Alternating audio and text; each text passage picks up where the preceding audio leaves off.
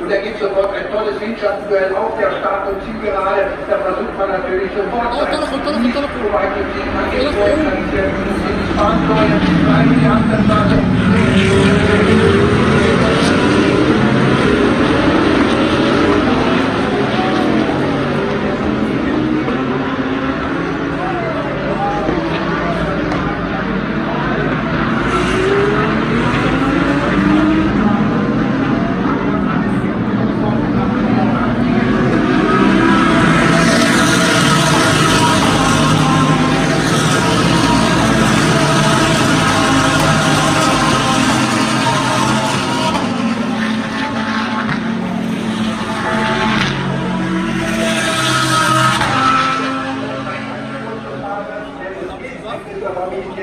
Moment der zweiten Position befindet. Im Audi ist er hier unterwegs für die Mannschaft vom Team BRT, das erfolgreichste Team in der Blockserie 2011 gegründet.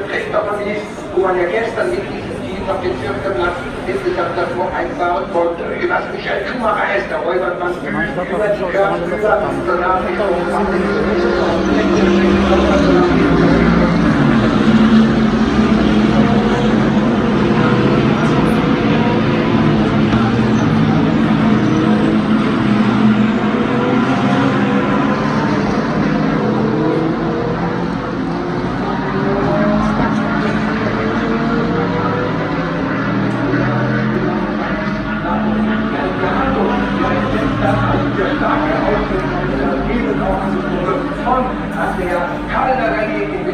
Anteilseigner vom Team Orange Schwarz FFF. Judenenko ist angesagt, einen unheimlich starken Fahrer, der drückt, der macht richtig Dampf hier und versucht irgendwo noch einmal so reinzuziehen an Maro Engel. So jagt man jetzt runter nach der ersten Runde wieder Richtung der anderen Straße, der Ziel ist dann